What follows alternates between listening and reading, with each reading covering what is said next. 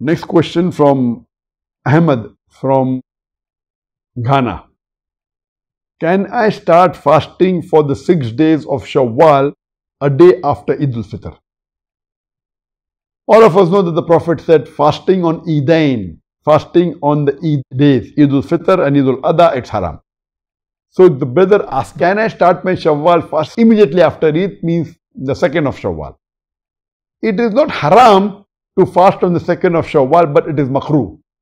The fuqaha say, since Eid is a day of celebration, and there are three days of Eid, so fasting on the first of Shawwal is haram, fasting on the second and third is makruh. It is not haram, it's makruh. It is preferable you don't fast on the second and third day of Eid because these are days of enjoyment, merrymaking where people, they visit each other's houses, the relatives, the family members, and they eat. So if you are fasting, there will be difficulties in this merrymaking. That is the reason it is preferable that you don't fast on the second and third of Shawwal.